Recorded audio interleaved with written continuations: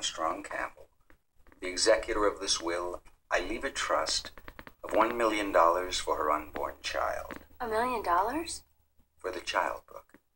I thought all of her father's assets were frozen. The trust is a separate entity from the estate holdings. It's untouchable. As well as the whole of my estate and all of my worldly possessions.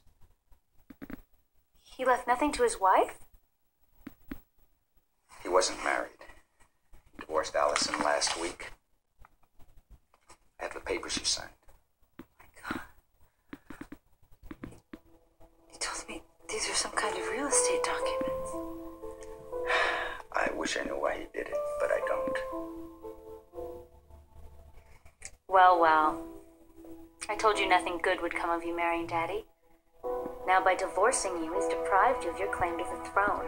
You're unbelievable. Thought you weren't gonna do this. No. You're right. Absolutely. Why didn't I think of it? Alison, Haley never loved me. Maybe the two of you were in this together. How else could he have done all this behind my back? Very easily, Alison. You aren't exactly one of the brightest kids in the class. Shut up. Since you aren't married anymore, I'll take your wedding ring. It's mine now.